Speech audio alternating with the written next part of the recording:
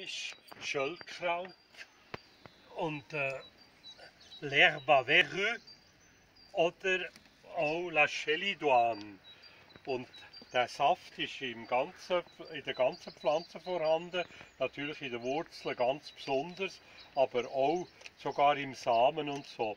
Und der, äh, wenn man ihn abbricht, wird der gelbe Saft wird dann orange und das kann man einsetzen, indem dass man es eben auf, genau auf die Werze tut.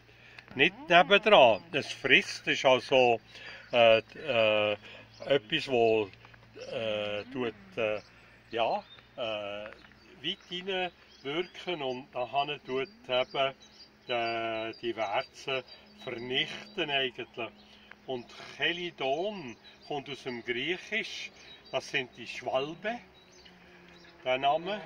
Und äh, die Schwalbeli, wenn äh, die die, die Oisillons, also die kleinen, äh, äh, eine Haut auf den, auf den Augen haben und nicht können schauen holen die Schwalbeli, holen das und tun das den Kleinen äh, in die Augen, das tut das fressen.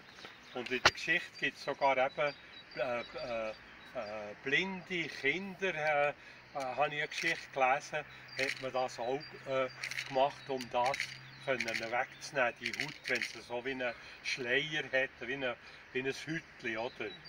Und das ist alles altes, äh, altes Wissen. Also Chelidon vom, von der Schwalbe gehört zu den Papaveraceen, also zu den wie der Mond und die